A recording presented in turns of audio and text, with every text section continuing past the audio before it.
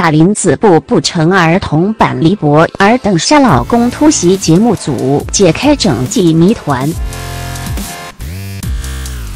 从《妈妈是超人》第三季上映以来，网友们就纷纷一直在猜测邓莎老公到底是何方人物。最后，节目组也没有让大家失望，终于解开了大家心目中的谜团。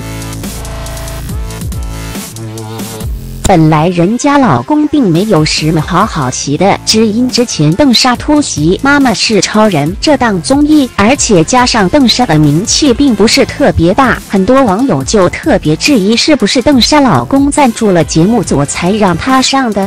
甚至还有网友还拍到了邓莎一家陪住儿子大林子一起逛商城，而且邓莎老公也在场。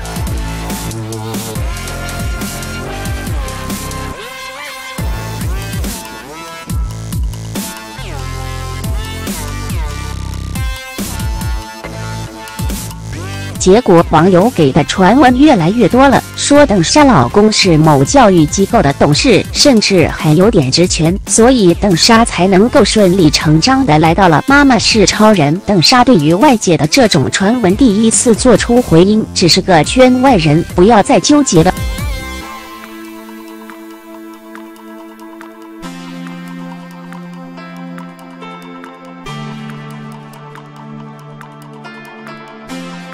虽然邓莎这么说，但是网友还是依旧不能相信，总觉得如果没有点什么，怎么能突然现身《妈妈是超人》这档综艺？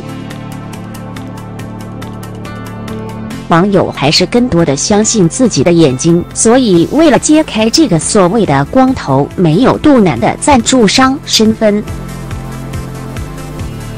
节目组在最后一期邀请了所有家庭的家庭成员参加《妈妈是超人》，所以邓莎老公就这么隆重登场了。看着邓莎老公在镜头面前羞涩的举动，和旁边几组家庭形成了一个很大的反差。这下网友们才开始相信邓莎老公真的是圈外人，不想曝光的心情也是很理解了。但大家能够为了孩子重新聚在一起，可以说是很甜了。